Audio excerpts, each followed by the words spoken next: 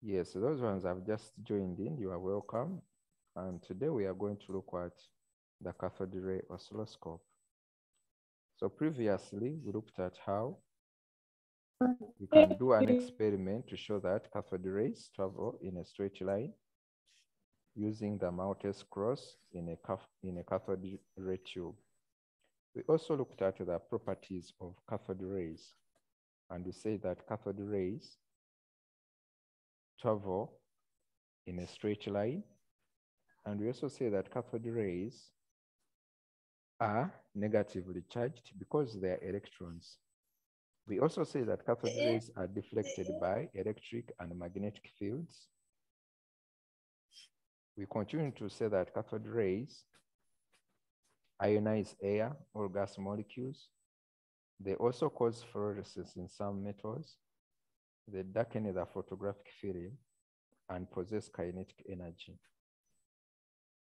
We did not conclude there, but we said that also cathode rays produce X-rays when stopped by a heavy metal. So those were some of the properties of cathode rays.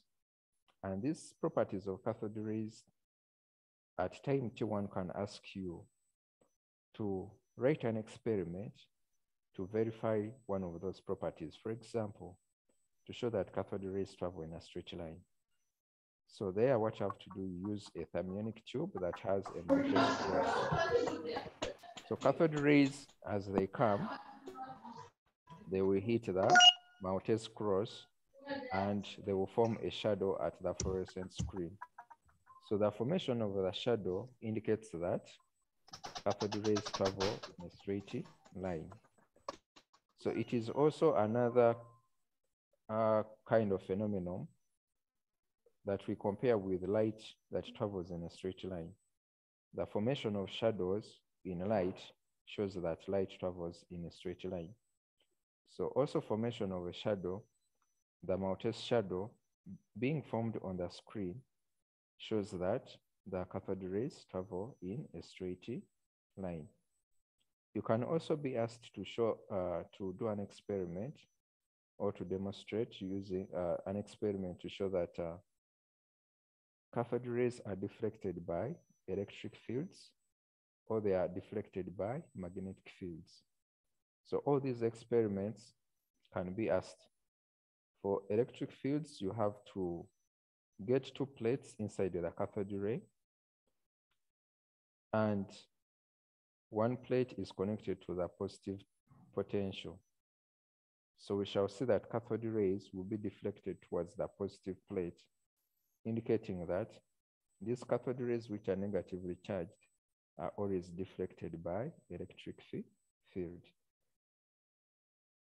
And also for the magnetic field to show that cathode rays travel in a, uh, cathode rays are deflected by magnetic field. Also that experiment can be asked for you to verify that uh, property. So there you must have a cathode ray tube and inside there, magnets, the North Pole and the South Pole. And the cathode ray is made to pass through the North, in between the North and the South. And we shall see that the cathode rays are deflected. Depending to the direction of the cathode rays, they would, they would be deflected to a certain pole. So we shall look at those experiments later on, but I want us today to go and to go ahead and look at the cathode ray tube. So in my right-hand corner here, I've got a video playing from YouTube. Uh, it is from my home tuition uh, channel. Thanks very much. And this, uh, this video is going to help us to know, first of all, what are the functions, all parts of this cathode ray uh, oscilloscope, and where is the cathode ray oscilloscope found. So looking at the notes, previously we said that the cathode ray tube has got three main parts. It has got the electron gun, it has the deflecting system, and it also has the fluorescent screen. All these three parts have a purpose. When we start with the electron gun, its main purpose is to produce, sorry, is to produce the cathode rays from the cathode and also to accelerate the cathode rays towards the fluorescent screen. So the electron grid, sorry, the electron gun has got very many components inside it. It has got to the filament, and the function of the filament is to heat the cathode. It has got to the cathode, and once this cathode is heated, produces electrons. It has got to the grid, and this grid, its purpose is to regulate the number of electrons which are being emi emitted. We shall see the video and we shall see how the grid regulates the number of electrons that are being emitted. It has got to the anode. The anode are made into two parts. So one anode, its purpose is to attract the electrons and the other one is to accelerate the electrons. So the anode is at a positive potential. Since it is at a positive potential, it attracts the electrons. And the second anode, its purpose will be the accelerating the electrons or the cathode rays towards the, the fluorescent screen. So those are some of the parts of the electron gun. And the other part is what we call the deflecting system. The deflecting system has got two main components. It, is, uh, it has the Y plates and it also has the X plates. As you hear the Y plates, their purpose is to deflect the electron beam vertically. And the X plates, their purpose is to deflect the electron beam horizontally. So both, both of these plates, we shall see, they can be connected to a DC voltage or to an AC voltage. And there's a way how the beam behaves when it reaches on the fluorescent screen. We shall see later, we shall see that later on when we are looking at the time base. The other third part of the cathode ray oscilloscope is what we call the fluorescent screen. The fluorescent screen. So the fluorescent screen, it is coated with zinc sulfide. And zinc sulfide has property that once light, once electrons hit it, it glows, it gives light. So for us to be able to observe the electron beam, the fluorescent screen has to be coated with zinc sulfide such that if electrons strike the zinc sulfide or strike the fluorescent screen coated with zinc sulfide, we shall see a beam that is glowing. So the electron will glow. So I will not waste time after giving you some of these parts.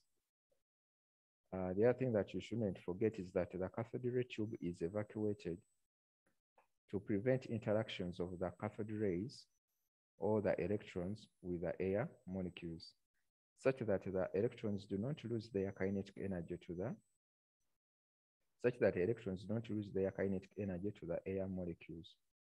Because if there are interactions between the electrons and the air molecules, it means that these electrons that had their kinetic energy, they will lose that kinetic energy to the air particles or to the air molecules. And once they use the, they lose their kinetic energy, just a few will be able to reach the fluorescent screen. Screen. So you can be asked the question, explain what happens if the cathode ray tube is filled with a gas or is filled with air. So you should note that that the intensity of the brightness on the fluorescent screen reduces. Reason is that a few number of electrons reach the fluorescent screen. Why? Because the electrons collided with the air molecules and they lost their kinetic energy. All right, so let us look at this video and we try to explain some of these parts and later on we shall go back to our, uh, we shall look at our notes. But everything that is here is what I've talked about. So let us see this video in animation and we try to see.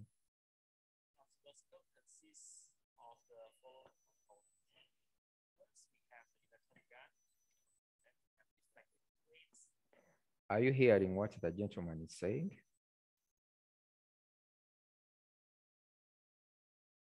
Members, are you hearing what the gentleman is saying? Unmute, please. No.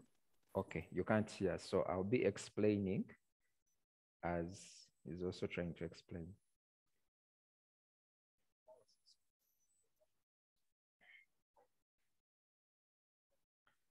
So, so there I was just telling you that there are three main components in a cathode ray tube, the electron gun, deflecting plates, and the fluorescent screen. Okay, and that is the cathode ray tube. If you are told to do the cathode ray tube, I would expect this, or I would expect what appears in your notes. So it has got the cathode ray oscilloscope has got what we call the filament. That filament which you are seeing there highlighted in yellow, it's the filament. And its purpose is to hit the cathode, the cathode. Okay, so it has also got to the cathode and you should know that this cathode is connected to a negative potential. We call it negative potential, not terminal, but negative potential. Why is it connected to the negative potential? The purpose is that negatives are the ones that have electrons. So we want to fill this cathode plate with electrons. That's why it is called, it's, it's connected to the negative potential. So once the cathode is heated, it will produce all it will emit all those electrons that are embedded in it. Okay.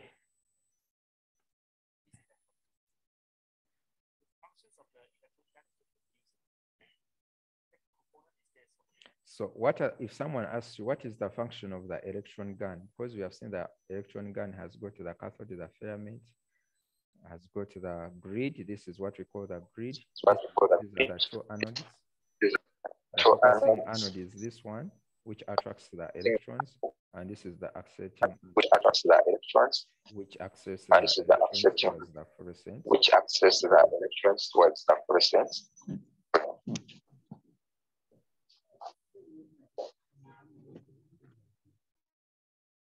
So if someone asks you what is the what is the purpose of the grid, the purpose of the grid is to produce ele electrons, and these electrons will appear as an electron beam. The one that you are seeing in red, that's the electron beam from the cathode towards the fluorescent screen.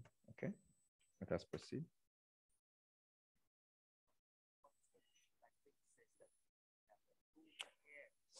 So this is the diffracting system. It has got two pairs, the Y plates and the X plates.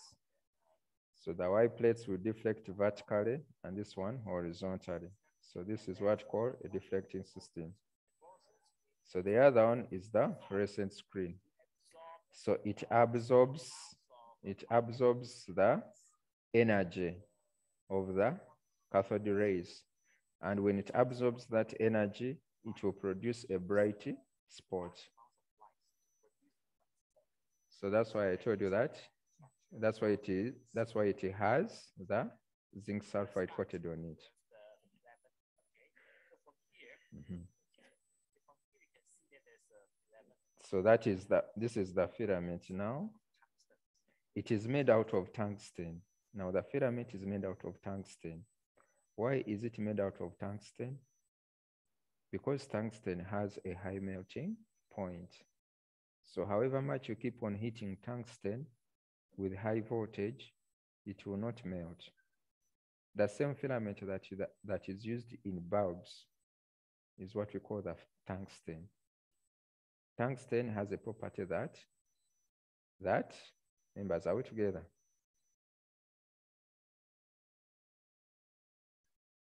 Esther, are we together? Esther, are we together?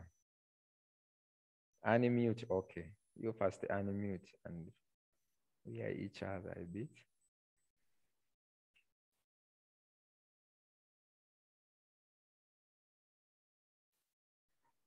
Okay, tungsten has got a property that it has a high melting point. So high, high amounts of heat cannot melt tungsten. And that's why we use tungsten to heat the cathode because it will take long for it to melt. It will not melt actually. Okay.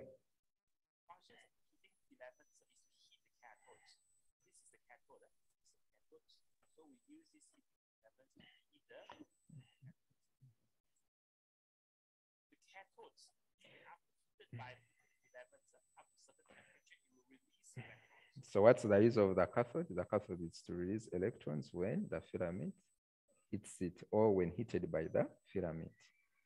Easy. Uh, we go to the next part. The next part is the grid. The- Teacher, yes.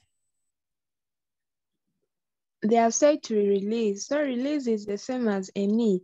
Yes, it is the same. I'll take you back. So it releases the electrons or it emits electrons when it is heated. Then the other one is the grid. The grid is connected to the negative potential. Are we together? It's connected to the negative potential. Why is it connected to the negative potential? Is that we want to regulate on the a number of electrons which are being emi- emitted. So they are saying number two, how does it regulate? It's a question that they ask in your UNEB examination. How does the grid regulate the number of electrons emitted from the cathode? So the answer is on number two. So they are saying that the more negative this potential, the more electrons will be repelled from the grid and fewer electrons will reach the anode and the screen. What does this gentleman mean? So what he means that if the cathode has started producing electrons, are we together? And also the grid is negative. Remember, remember that the electrons are negative, the electrons are negatively charged. So if they make the grid to be more negative, more negative, it means that the electrons which are being emitted from the cathode will be repelled back, back to that cathode by the grid. Why? Because the grid is ne negative. And you show that since electrons are negative and the grid is negative, so negative charges are going to repel, to repel. There will be a repulsion. So the grid will be made negative and it will repel the negative charges or the negative electrons that are being emitted from the cathode. This will make some of the electrons to bounce back, back into the cathode. Now that's when we want to reduce on the number of electrons which are being emitted from the ca- cathode. For us to reduce on the number of electrons that are being emitted from the cathode, we increase on the negative potential of the grid. The grid becomes more negative. If the grid becomes more negative, more, sorry, less electrons will be emitted from the cathode. It means that the electrons that are being emitted from the cathode will bounce back, will bounce back into the cathode, and just a few will be allowed to go through. Now, if we want high number of electrons to be emitted from the cathode, then we have to reduce on the negativity, on the negative potential of the grid. So the grid is made in the such a way that its negativity, the potential, the negative potential of the grid can be reduced or can be increased. So once you reduce on the negative potential of the grid, it means that now more electrons can pass through the grid because its negativity has been reduced. So just a few will be repelled. And this will allow more electrons to be emitted from the ca- cathode. So that's what they are saying that the more negative the poten- the more, neg- the more negative this potential, the more electrons will be repelled from the grid and few electrons will reach the anode and the screen. Members, are we together?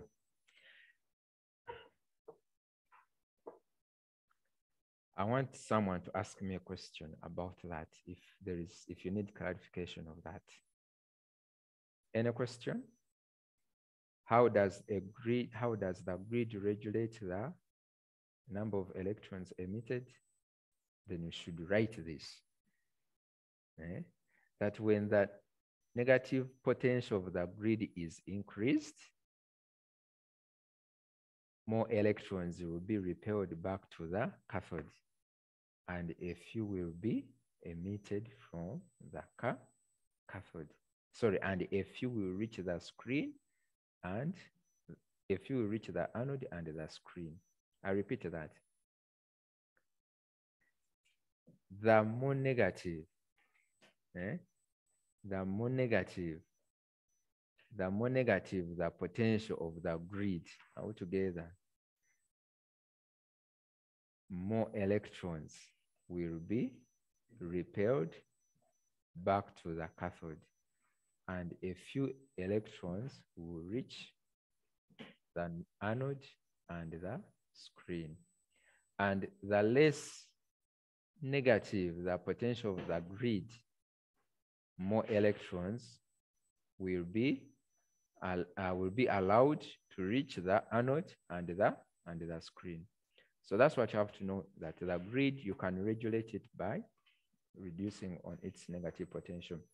They're also saying that the number of electrons reaching the screen determines the brightness of, of light. If we have more electrons reaching the screen, then the, the brighter the spot. If we have less electrons reaching the screen, then that uh, let me say that dimmer the spot.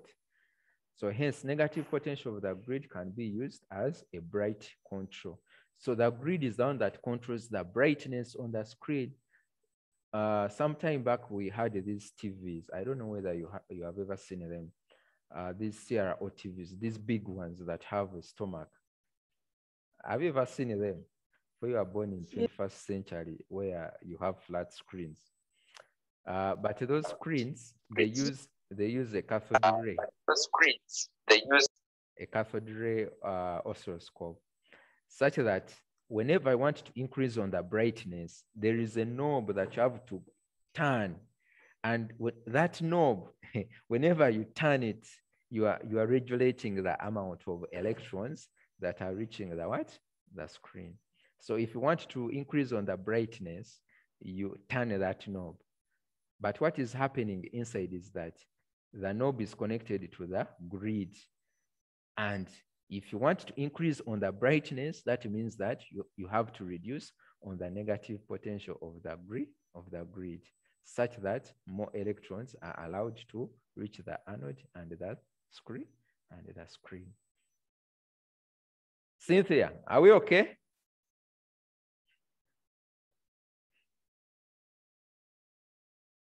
Eh, Cynthia has gone for lunch. Okay. Cynthia, are you there? You have turned off. Everyone has turned off. Hope you are listening. Yes, teacher. Are you listening? Everyone is listening. Yes. Okay, let us proceed.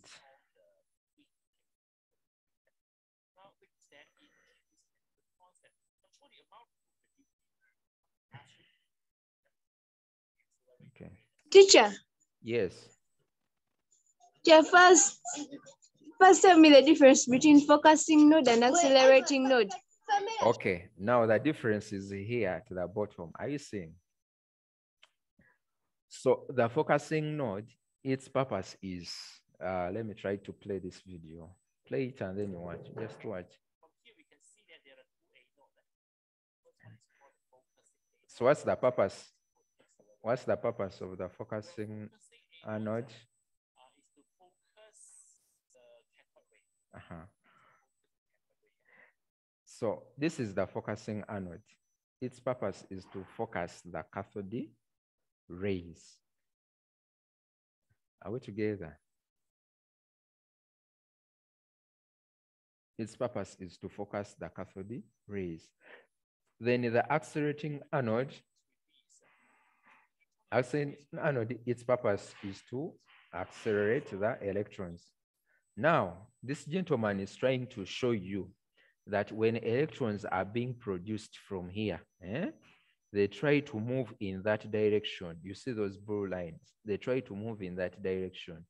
But on reaching, on reaching the focusing anode, what will happen is that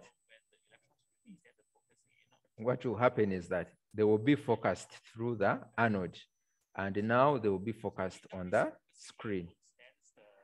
So without the focusing anode, the electrons will go astray. They will spray within this tube. So the focusing anode, what it will do is that it will concentrate those electrons onto one what? Onto one spot, which is on the screen, which is on the screen. And then the other accelerating anode, its purpose is to accelerate those electrons. You can see that from this point up to this point, there are only plates which are deflecting. So this accelerating anode will try to deflect, will try to accelerate the electron beam towards the screen, towards the screen. Okay, we all know the meaning of the word to accelerate. Teacher, Yes. how are the electrons able to move from a positive from a positive to a positive? Because the focusing anode is positive and the accelerating anode is positive. Are they as the as the electrons able to move? Okay, thank you very much. Now, what you should know is that the focusing anode, uh, the way it is made is that its purpose is to attract those electrons that are being emitted. It attracts them because you should know that it is also at a positive potential. That's what they are saying. The anode is at a positive potential. So if the anode is at a positive potential, it will attract the electrons because electrons are negatively charged. And we know that like unlike charges do what? Do attract. So the electrons will be attracted towards the anode. But the first anode which is there is to focus the electrons. Now, the whole of this anode, when, uh, the whole of this anode is having a positive potential, which is good because the electrons are negatively charged. So the electrons will be attracted faster to the first anode and also to the second anode. Why? Because the first and the second anode, both of them are, are having a positive poten potential. So they will attract the electrons and the electrons will now be accelerated by the accelerating anode and they will move through the deflecting system and they will reach the screen and we shall observe them as a bright what? As a bright spot. So they can move from one positive anode to another posit positive anode because the electrons are negatively charged and are always attracted by the positive terminals. So the positive terminals which are here are the focusing anode and also the accelerating anode. Okay, hope I've answered you. Now we go to the next one. Uh,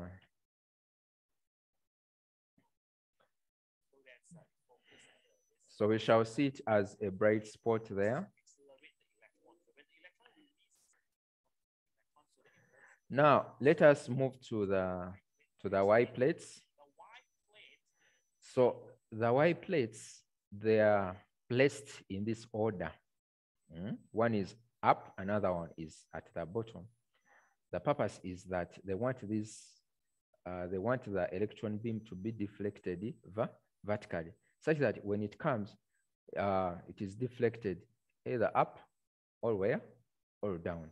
So the Y plates cause deflection in the vertical direction when the voltage is applied across them. So there is always a voltage that must be applied on them for us to have that deflection. Are we together? That takes you back to the property that cathode rays are deflected by electric fields. Because if we have uh, a potential applied to these members, when I talk about potential, I'm meaning that one plate is connected to the positive and another plate is connected to the ne negative. That's what I'm saying. So there is a potential, we call it potential difference. There's a potential in between these two plates. So it means that now the electron is going to move through an electric field in between these two plates. So it, it will depend on the magnitude of that, of that electric field and the electron beam will be deflected either vertically or either upwards or downwards. So it depends on the amount of the electric field that will be in between those two plates or on which plate have we put the potential on. Huh?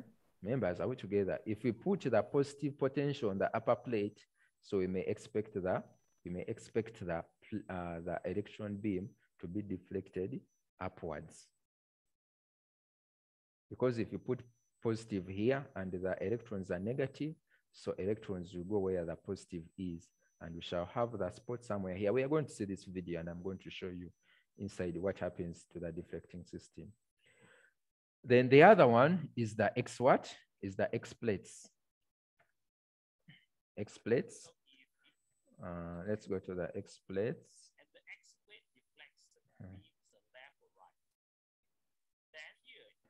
So the, the X plates will deflect the beam left or what?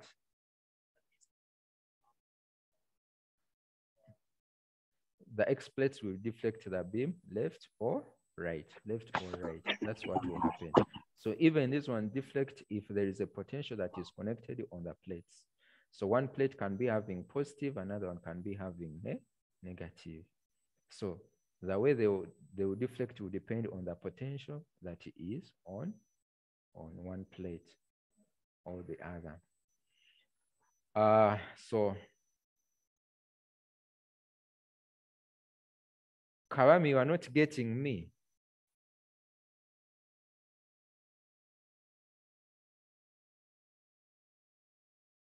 Okay, let, let, let me try. If you're not getting me, I'll fix it. So that's that's that's the uh, that's our fluorescent screen, and a fluorescent screen is coated with zinc sulfide or graphite. Graphite. You can have zinc sulfide or graphite. So also graphite will glow if electrons uh, strike it, and we shall have a bright spot, a bright spot. Okay, so that is it there. Now there is something that uh, I want us to see after that, but let me first uh, let me first do some in the video here. Increase on my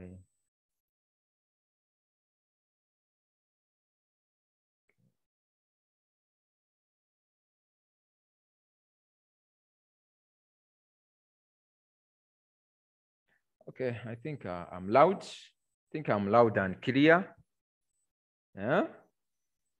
Yes. Yes, I'm loud and clear. So, so members, uh, read through these notes. Everything that we have explained about the cathode ray tube in the video, they are the ones that appear in these notes.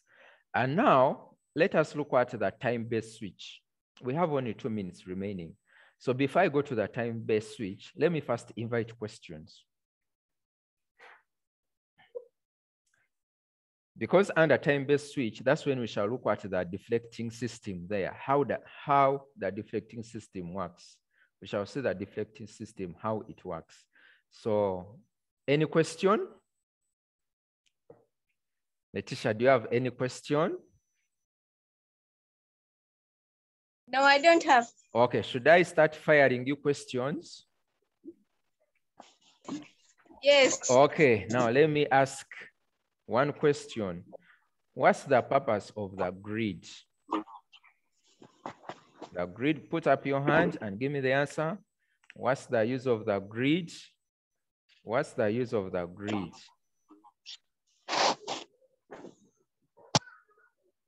What's the use of the grid? Yes, Esther. It controls the number of electrons reaching the anode. anode. Yes, it controls the number of electrons reaching the anode or someone who's wiser than that. I know you are very wise. Sometimes Mr. Watumon says, oh, which food have you eaten in the morning? so I know, so you should know that it controls the number of electrons uh, reaching the screen, and that means that it controls the bra, the brightness, isn't it? So it controls the brightness of the electron beam on the screen by controlling the number of electrons or by regulating the number of electrons that are reaching the screen. Okay, that's question one. Question two, who can give me uh, how does the grid regulate the number of electrons? How does the grid regulate the number of electrons? We have less than one minute.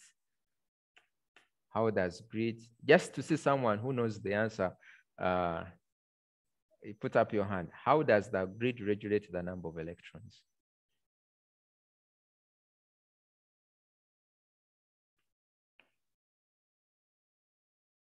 Okay, so when we come back, we shall start with that question. Esther, you have the answer? I'm like, maybe it's because it's at a negative potential.